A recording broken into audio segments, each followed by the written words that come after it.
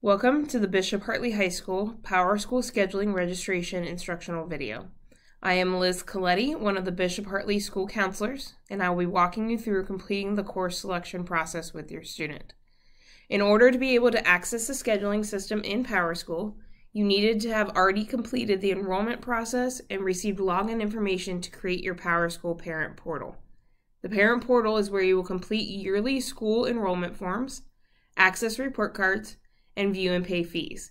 It is also where you'll be able to work with your child to schedule course requests for freshman year. To start, please navigate to Bishop Hartley's PowerSchool Parent Portal website. You can see the website here. Please bookmark this page as you will access it frequently in the future. You will want to log in using the username and password you created when activating your account in the Parent Sign-In section. I'm going to be using a test parent account today, so I'll put that information in now. After logging in, you'll be directed to this home screen. You may see two tabs at the top. The Joe tab is for an older student, and then the Student tab is for my incoming freshman. If this is your only child at Bishop Hartley, you will only have a tab for him or her. On the left, you will see different options to view information. As of right now, if you click through each of them, you might see information listed there, but you will learn more about each of these tabs in the future. When you are ready to schedule course requests with your student, please have your course selection packet with you. The documents included will help you complete this step. Click on class registration on the left and you will be directed to the screen to use. Here you will see different categories that need to be completed, Please keep in mind that we are filling courses in to ensure your child has a complete schedule for the fall. Bishop Hartley has a seven period school day. At the top of this screen is a link to our course catalog that is on the bishophartley.org website. Please note that the course catalog is broken down by subject. As you navigate back to the class registration screen, if you scroll all the way to the bottom, you will see a section that says Additional Requests. If you look at the courses listed here, these courses cannot be changed and are the courses that your child is placed into automatically. This will match the orange course selection sheet with your child's name on it from the packet. Scrolling back up to the top, you will see the different areas you will need to complete to finish the course registration process. First is listed world language, and we will click on the pencil next to the green check mark. This is where you will select what language your child would like to take as long as there is room in his or her schedule. Additionally, you will see the note at the top that if your child has experience with a language due to speaking it at home or courses taken in school, you can select Advanced Language Testing Request. You should also make sure to register for a test by following the instructions on the purple sheet in your packet. You will select a course by checking the box to the left or selecting the course itself, and then hitting the blue OK button. Now you will see that the course requested is listed in that section. Where language is not required for all students to select if you or your child feel like they are not ready to take a language during freshman year and want to wait to start a language during sophomore year, or if there does not appear to be room for the world language due to the courses recommended to be taken on the orange course selection sheet. As we move on to the next section, physical education, you will notice to the right that there is a green check mark next to the pencil. This is a section that can be skipped if you are planning to have your child take summer PE this summer and do not want them to have a PE course scheduled for freshman year.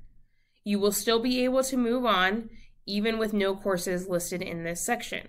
If your child will not be taking summer PE and you would like them to get part or all of the half credit needed for graduation scheduled during their freshman year, then you will select the pencil and choose either physical education and or lifetime fitness PE.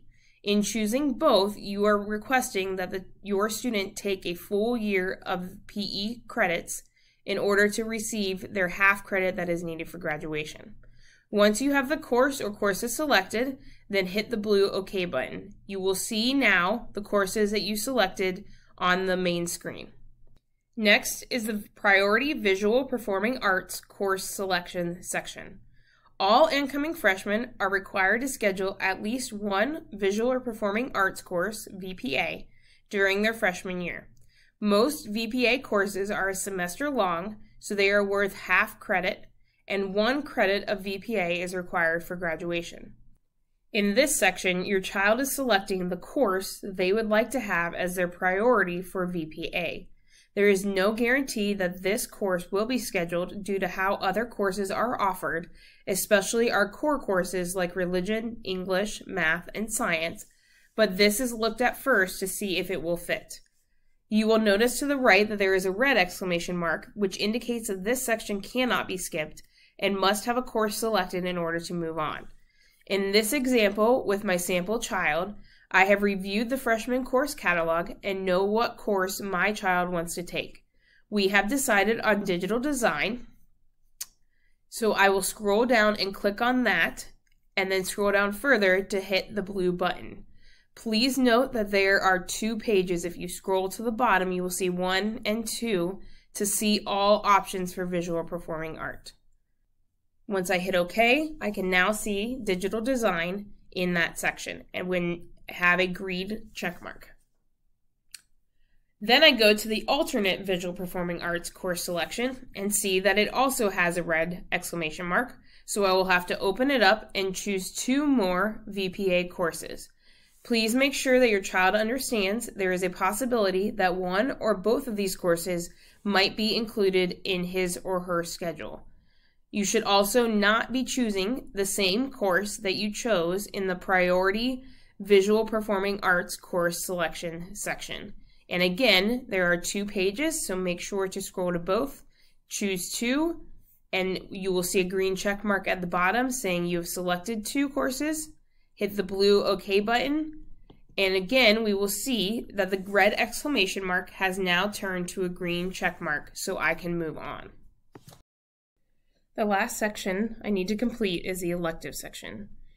As we see, there is a red exclamation point to the right by the pencil, so I know that I cannot skip this section. My child has looked at the elective options in the freshman course catalog and decided on the two courses he or she would like to take. I saw that on the freshman course catalog, Engineer Your World had a prerequisite listed which my child does not meet, so I will not pick that course.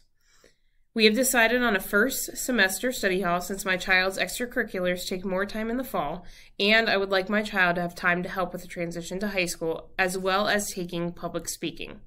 I will click on the last pencil and look at the elective courses available, selecting the two study hall for semester one and public speaking before hitting the blue OK button. These courses will be used in addition to the VPA courses selected to make sure my child has a full schedule in the fall. Now there is a green check mark in the electives box.